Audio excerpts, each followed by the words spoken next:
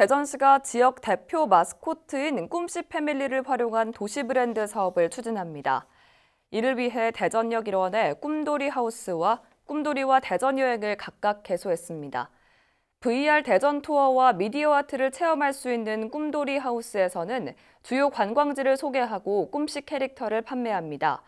또 꿈돌이와 대전 여행은 여행객들에게 정보를 제공하는 공간으로 향후 꿈씨 캐릭터와 함께 대전 영시축제를 홍보할 계획입니다.